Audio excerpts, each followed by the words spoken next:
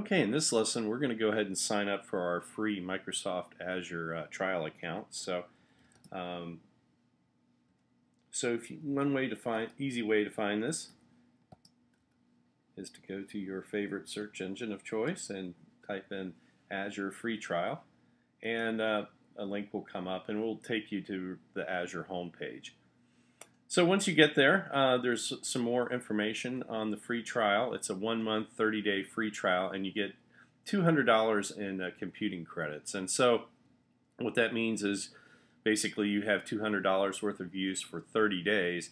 If you exceed that $200, uh, they won't charge you, they'll just terminate your free trial account.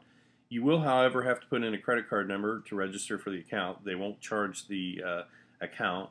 Um, uh, subject to the $200 credit. So so there's really uh, no no obligation here. The if you look through the frequently asked questions on why they require a credit card account, they they uh, say that they need to, to verify that it's a real person for the account. So uh, I've done this a couple of times and incurred no charges on my account for 30 days. So if you click on the Try It Now button, uh, it will take you to the sign-in page. And one requirement for this is you have to have a Microsoft account uh, to start this process. Uh, if you don't have a Microsoft account, you can sign up for one for free, and there's a, a link here at the bottom where you can do this. So I already have a, a, Microsoft account, so I won't take you through the process of how to do that.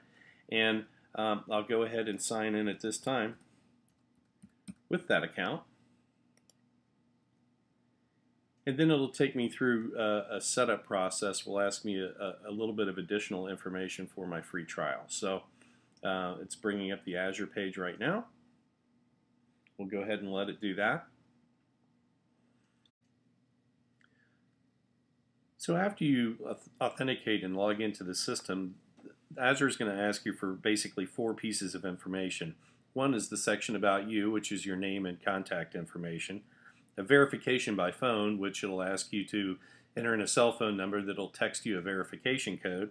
The third part is to put in your credit card number and get that uh, account verified. And the last part is to select the license agreement. Once you enter in uh, all of this information, uh, you select the submit button, it'll go out and verify all that information. And if everything's correct, then it'll go ahead and set up the account.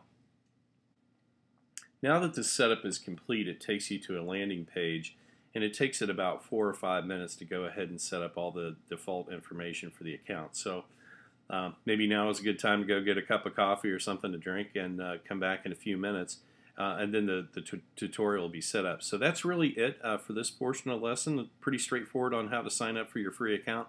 Uh, in the next lesson, I'll show you what the portal looks like and give you a short tour of the control, pan control panel and some of the options uh, in the portal itself. So thank you very much, and I'll see you in the next lesson.